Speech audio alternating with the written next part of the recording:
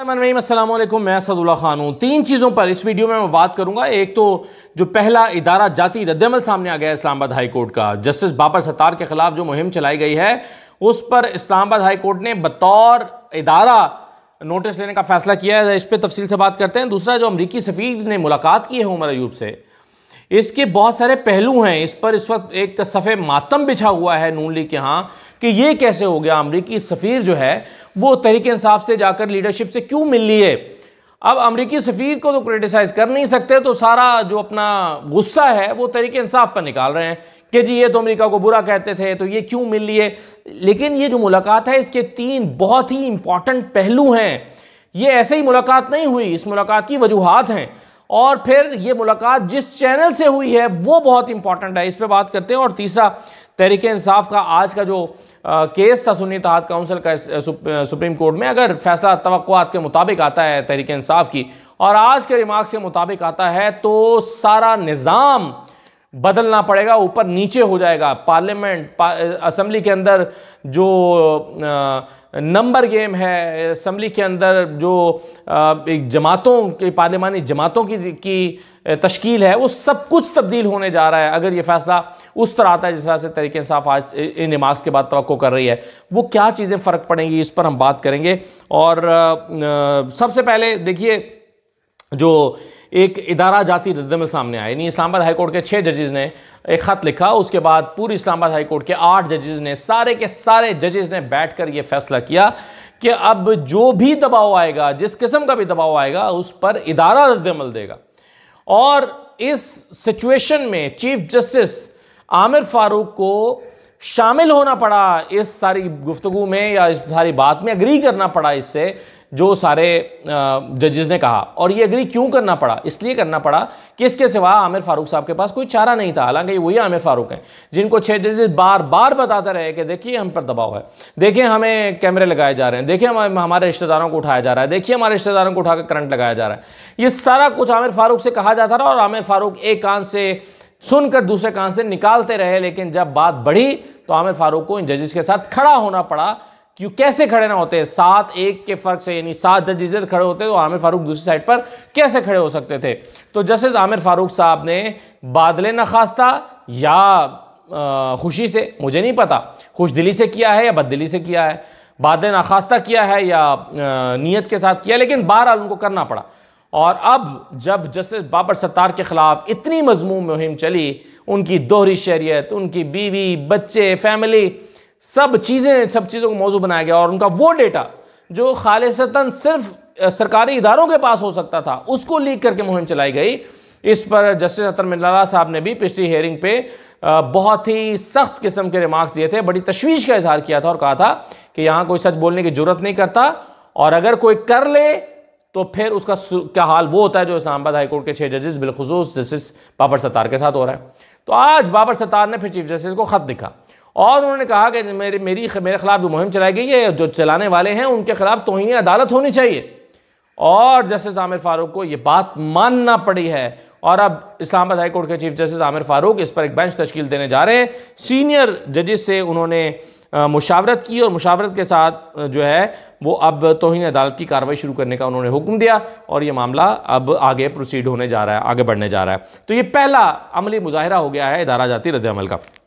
दूसरा देखिए, अमरीकी सफ़ीर से मुलाकात के इस वक्त बड़ा शोर मचा हुआ है। जैसा कि मैं भी कह रहा था कि बड़ा वावेला मचाया हुआ है कि जी, कैसे जो है वो ये मुलाकात हो गई, क्यों ये मुलाकात हो गई और ये मुलाकात कैसे हो सकती है और तरीके इंसाफ ने मुलाकात क्यों की?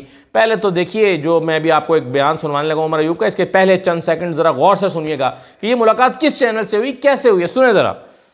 दफ्तर खारजा के ज़रिए क्योंकि शिराजी साहब उन्होंने नोट पर बैल भेजा था कि अमेरिकन सफीर मिलना चाहते हैं। हमने कहा ज़रूर ऑफिशियल चैनल से आए और हमने उनसे उस तनाजर में मुलाकात की। खान की रिहाई के मामले में कोई बात हुई? देखिए न अमेरिकन सफीर इस चीज़ में है कि वो किसी को पाकिस्तान के अंदर रिहाई दे सकता है और ना ही हम लोग अपने तहफात जो है वो किसी गैर मुल्की एम्बेसडर के सामने रखेंगे। हम लोग मुहब वतन लोग हैं पॉइंट नंबर एक। पॉइंट नंबर दो हम लोग बिलीव करते हैं रूल ऑफ़ लॉ पे और शेयर्ड इंटरेस्ट कौमों के दरमियान होते हैं और एक डेमोक्रेसी एक जमहूरियत जो होती है, जो अमेरिका है, वो खुद भी वो इस चीज़ को एक्नॉलेज करते हैं कि मुल्क में जब रूल ऑफ़ लॉ होगा, इमरान खान साहब के खिलाफ हाँ ये हमने कहा कि इमरान खान साहब के खिलाफ, पार्टी लीडरशिप के खिलाफ मिलिट्री कोर्ट्स के केसेस हमारी खातन के खिलाफ केसेस हमारे मर्द हजरात के केसेस चौधरी परवेज लाई साहब के केस शाह महमूद कुरैशी साहब के केस ये सब के सब बोगस केसेस हैं। और ये उस जुमरे में बात की कि मुल्क में जब रूल ऑफ़ लॉ नहीं होता, उस जगह पे जुडिशरी पे प्रेशर दिया जाता है और वहाँ पे ये इशू बनता है। अच्छा आप इसमें देखिए दो तीन चीज़ें बड़ी इंपॉर्टेंट हैं इसकी। एक तो आप सोचिए कि अमरीकी सफ़ीर ने या सफारत खाना ने रबता किया कि हम आपसे मिलना चाहते हैं। तो तहरीक इंसाफ ने ये नहीं कहा कि आइए, मिल लिए जैसा कि बाकी लोग करते हैं। तहरीक इंसाफ ने कहा कि थ्रू प्रॉपर चैनल आइए। फिर उन्होंने दफ्तर खारजा से रबता किया। और फिर दफ्तर खारजा ने उमर अयूब से कहा कि हम, के अमरीकी सफ़ीर आपसे मिलना चाहते हैं तो इन्होंने कहा कि हाँ हम मिलने के लिए तैयार हैं। यानी रियासत पाकिस्तान को इन्वॉल्व किया गया। पाकिस्तान के दफ्तर खारजा को इन्वॉल्व किया गया और दफ्तर खारजा ने ये मुलाकात अरेंज की। इससे क्या चीज़ें साबित होती हैं? इस दूसरी बात पर मैं बाद में आता हूँ। इससे क्या चीज़ें साबित होती हैं? देखें, इससे साबित होता है कि तहरीक इंसाफ एक अहमियत की हामिल जमात है और अमेरिका के लिए इसको नज़रअंदाज करना मुमकिन नहीं है। और अमेरिका क्या किसी के लिए भी इसको नज़रअंदाज करना मुमकिन नहीं है? तहरीक इंसाफ, जो कि है ही नहीं, पार्लियामेंट में एग्जिस्ट ही नहीं करती। उस अरेंजमेंट के तहत जो इस इस निज़ाम ने इस वक्त बनाया है ना, इस निज़ाम ने क्या किया? इस निज़ाम ने कहा कि जनाब तहरीक इंसाफ है ही नहीं। पार्टी ही नहीं है, बल्ला ही नहीं है इसके पास इलेक्शन सिंबल ही नहीं है। इलेक्शन कमीशन क्या कह रहा है? जनाब आपकी जो जनरल बॉडी नहीं है। आप तो पीटीआई है ही नहीं। आपकी तो कोई पार्टी नहीं है जनरल बॉडी नहीं है इजलास नहीं बुला सकते आपके पास पार्टी सिंबल नहीं है आपका पार्टी का, का ढांचा नहीं है तो आप जमात ही नहीं है। इलेक्शन कमीशन ये कह रहा है। लेकिन आप कुछ भी कहते रहिए बोगस फैसलों से कुछ भी कहते रहिए लेकिन असल में ये सारी अरेंजमेंट साबित करती है कि तहरीक इंसाफ एक हकीकत है और उसको एक हकीकत के तौर पर लेना पड़ेगा। इसके अलावा वरना तो अमेरिका को क्या ज़रूरत है तहरीक इंसाफ? एग्जिस्ट ही नहीं करती तो उसे मिले क्यों है? फिर मिलते ना साहिबजादा हामिद रजा खान से मिलते जाके। साहिबजादा हामिद रजा से मिलते और उनसे मिलकर मुलाकात करते। क्यों तो उमर यूब से और तरीके इंसाफ की लीडरशिप से मिल रहे हैं? तो इस, यानी आप देखिए, टीवी पर नाम लेने पर पाबंदी लगा दी टीवी पर तस्वीर दिखाने पर पाबंदी लगा दी इमरान खान नहीं कह सकते, बानी चेयरमैन कहते हैं इमरान खान को। इसके बावजूद इमरान खान सबसे रेलिवेंट है पाकिस्तान की सियासत में, उसको माइनस नहीं किया जा सका। तो ये साबित करता है इस मुलाकात के अमेरिका के लिए इसको नज़रअंदाज करना मुमकिन नहीं है। और अमेरिका के लिए इसको नज़रअंदाज करना इसलिए भी मुमकिन नहीं है कि देखिए, जो बाइडन को अंदाज़ा है कि इलेक्शन होने जा रहे हैं, और उनको अंदाज़ा है कि तहरीक इंसाफ की जो सपोर्ट है, वो सारी की सारी ट्रंप के लिए है। और सारे सर्वेज बता रहे हैं कि ट्रंप जीतने जा रहे हैं। और अगर ट्रंप जीत गए, जो कि सर्वेस बता रहे हैं कि वाजह ज़रिए से वो जीत जाएँगे तो ज़ाहिर है उनका पूरा जो एक अच्छा वर्किंग रिलेशनशिप है, ये झुकाव वो पीटीआई के लिए है। तो पाकिस्तान में नवंबर के बाद इन इलेक्शन जब हो जाएँगे तो सारा सिनेरियो बदल भी सकता है। इस पर मैं किसी दिन अलग से बात करूँगा, जिस दिन ईसा ईसा नकवी मेरे काबू आए, ज़रा कुछ चीज़ें मैं इस पर कहना चाहता हूँ, कुछ उनसे पूछेंगे और इस पर फिर तफसील से बात करेंगे, लेकिन बाइडन का अंदाज़ा है कि पाकिस्तानियों की हिमायत हासिल करने के लिए करना पड़ेगा।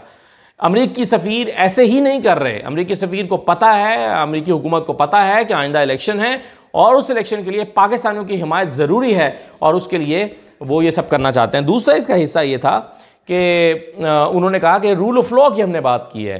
अब आप सोचिए कि तहरीक इंसाफ ने वो नुकता डिस्कस किया है जो अमरीकियों के नज़दीक एक बड़ी अहमियत का हामिल है कि रूल ऑफ़ लॉ होना चाहिए। उसको बड़ी एक इंपॉर्टेंस की नज़र से देखते हैं। उन्होंने कहा, जी, रूल ऑफ़ लॉ नहीं है पाकिस्तान में। अदालतें अपना काम नहीं कर रही। अदालतें जो है वो जानबदार हुई हैं और यहाँ पर लोगों को गिरफ़्तार रखा गया है। कानून की हुक्मरानी नहीं है। तो ये सब बातें। अब आप सोचिए कि अमरीकी सफ़ीर अगर इन बातों को नज़रअंदाज भी कर दें या इसको वो उनके मुफाद में ना भी हो तो फिर भी कुछ तो रिपोर्ट उनको बना के देनी पड़ेगी ना। वो एक रिपोर्ट बना के, मुरतब करके भेजेंगे इस मुलाकात की तो उसमें बताएँगे कि डिस्कस हुआ है कि रूल ऑफ़ लॉ नहीं है पाकिस्तान में। तो आप सोचिए कि ये सारी चीज़ें इसलिए बहुत अहमियत की हामिल हो जाती हैं। और फिर दफ्तर खारजा का इन्वॉल्व होना बताता है कि पाकिस्तान भी इस अहमियत को तस्लीम कर रहा है, इमरान खान की अहमियत को, वरना पाकिस्तान क्या कहे? वरना पाकिस्तान कह सकता है कि नहीं जनाब, आपको मुलाकात करने की क्या ज़रूरत है? आप हुकूमत से मिलिए। आप हमारे वजी खारजा से मिलिए सागडार से मिलिए। आप पाकिस्तान के मामला पाकिस्तान से करें और तरीके साहब तो एग्जिस्ट नहीं कर सकती, लेकिन दफ्तर खारजा ने यह नहीं कहा और वो नहीं कह सकता। तो इसलिए जो लोग मज़ाक उड़ाने की कोशिश कर रहे हैं कि जी ये तहरीक इंसाफ ने अब क्यों अमरीका से जाके मुलाकात कर ली और क्यों अमरीकी सफ़ी से मिल लिए, ये एक बहुत ही मैं समझता हूँ कि हल्का तजिया है, बहुत हल्का और बड़ा आमियाना तजिया है। लो इंटेलेक्ट कहते हैं ना, आपने सुना होगा ये लफ्ज़, कहाँ सुना है? याद याद है आपको लो इंटेलेक्ट का लफ्ज़ कहाँ सुना चले कमेंट कर दीजिएगा। लो इंटेलेक्ट का लफ्ज़ आपने कहाँ सुना है? तो ये बड़ा लो इंटेलेक्ट एक एनालिसिस होगा कि जिसमें ये कहना कि ये जी, अब तो ये तो अमेरिका को बुरा कहते थे, अमेरिका के साथ बात क्यों कर रहे हैं? बातचीत के दरवाजे भी, बातचीत भी कभी बंद होती है। यानी अमेरिका, पाकिस्तान की या अमेरिका तहरीक इंसाफ की कोई जंग तो नहीं हुई, और जंग भी हो तो बातचीत होती है। तो ये आज इसी किस्म का एक मुजाहरा जो है, वो हमने एक प्रोग्राम में भी देखा है। ज़रा ये सुनिए कि इसमें क्या कहा गया है? ये प्रोग्राम का क्लिप आप ज़रा देख लीजिए। देखिए, फहद आपसे दोस्ती भी है, इसलिए मैं कुछ बात ध्यान से ही करूँगा। लेकिन मैं ऑनेस्टली बहुत कम होता है कि किसी प्रोग्राम में बैठ के इतना इस ऐसी मायूसी महसूस करूँ जो मैं इस प्रोग्राम में बैठ के महसूस करूँ आपका ये क्या प्रोग्राम है? पिछले पंद्रह मिनट से आपकी एक ऑब्सेशन है पीटीआई के साथ कि देखें इनका झूठ इनके यू टर्न ये अमेरिकन इन्वेस्टर से क्यों मिले? पीटीआई के अंदर बड़ी कोई ग्रोबंदी है? ये किस तरह कौमी अहमियत के सवाल आते हैं मुझे आप बताइए। एक पार्टी जो अपने आप को समझती है कि वाइंदा की हुकूमत है वो कैसे किसी बैरूनी सफारतकार से नहीं मिलेगी सफीर से नहीं मिलेगी? हम हर सफीर से मिलेंगे। हाँ हमारा कुछ भी गिला हो हम हर हुकूमत से मिलेंगे ताल्लुक भी रखेंगे। स्टैब्लिशमेंट से भी करेंगे। देखिए पूरा एक आपने मैं मर्ज करूँ मैं मर्ज करूँ। आपने एक पूरा बयानिया बनाया है एक माहौल पैदा किया है मुझ तक आने से पहले। पहले आपने ये बात की आपकी जो को होस्ट है उन्होंने कहा इनका झूठ जो है वो हमेशा सामने आ जाता है। ये किस किस्म की सहाफती ज़ुबान है? मैं हैरान मैं उसके बाद आपने ये कहा कि अब हम देखिए आपके बिल्कुल कुछ खबर नहीं है कि पीटीआई के अंदर क्या हो रहा है। नहीं मैं सिर्फ़ मैं उम्मीद बात मुझे सिर्फ़ वाली बात क्लियर करने से कोई गिरोह नहीं है। मुझे आपने बदला तो नहीं ना लेना मैं पूछूँ ये हुआ होगा। लेकिन इस प्रोग्राम का मकसद क्या है? ये कहना कि तरीके इंसाफ को हमेशा के लिए अमेरिका से और अमेरिकी सफारतकारों से कुट्टी कर लेनी चाहिए। उनको पाकिस्तान तरीके आप या तो प्रोग्राम करें एक हदफ बनाने के हवाले से। या आप बात करें उसूलों की आज के इशूज क्या हैं उन पे बात करें। अगर आपने पीटीआई की तारीख को उठा के उस पर हमला करना है तो आपको मेरी ज़रूरत नहीं है। आप खुद कर सकते हैं कर सकते हैं। हमने तो आपको के लिए बात अब इसको मैं मजीद इस पर कॉमेंट नहीं करता बहुत कुछ कह दिया सलमान अकम राजा साहब ने। तो ये अगर मतलब हमारे सीनियर एनालिस्ट बैठते हैं और बैठ के आ, उसके तमाम पहलुओं पर सैर हासिल गुफ्तु करने अब जैसे मैंने तीन चार इसके अहम पहलुओं पर बात की है तो बात की जा सकती है मुख्तलिफ़ पहलुओं पर लेकिन अगर आप सिर्फ़ एक चीज़ को लेकर पुरानी सस्ती हल्की और लो इंटेलेक्ट बात को लेकर लगे ले ये जी अमेरिका के खिलाफ ये तो बात करते थे और आज अमेरिका से क्यों मिल? ली अमरीकी फिर से मुलाकात क्यों कर ली? तो ये मेरा ख्याल है बड़ा सस्ता किस्म का दर्जिया है। आखिर में मैं आपको बताऊँ देखिए आज जो आ, हुई थी एक हेयरिंग हुई थी सुप्रीम कोर्ट में उसमें जो रिमार्क्स आए थे तमिल साहब के जो और जस्टिस मंसूर के जो मैंने पिछली वीडियो में बताए भी थे उसमें अगर तो ये फैसला तहरीक इंसाफ के हक में आता है तो उसमें फिर ये भी होगा इसका मतलब ये होगा कि सलमान अकरम राजा की ये बात मान ली गई है, जो वो लाहौर हाई कोर्ट के पास लेकर गए थे। और लाहौर हाई कोर्ट में उन्होंने कहा था कि मेरा निशान छीना गया है, मुझसे पार्टी तो नहीं छीनी जा सकती। मैं तहरीक इंसाफ ही का मेंबर हूँ और मैं तहरीक इंसाफ के प्लेटफॉर्म से ही लड़ रहा हूँ। और मुझे तहरीक इंसाफ का ही कहा जाए, मुझे आज़ाद डिक्लेयर ना किया जाए। याद रहे कि ये फैसला जो है, ये लाहौर हाई कोर्ट का से जो आया, उसको चैलेंज किया गया था। यानी सलमान अकम राजा की बात नहीं मानेगी और फिर सुप्रीम कोर्ट में ये बात पेंडिंग है अभी फैसला। अपील पेंडिंग है। और काजी फैसा साहब इसको फिक्स नहीं कर रहे। काजी फैसा मर्ज़ी के केस लगाते हैं। ये केस जो उनकी मर्ज़ी का नहीं है, उसको फिक्स नहीं कर रहे। लेकिन अब ये सवाल यहाँ पर उठा है।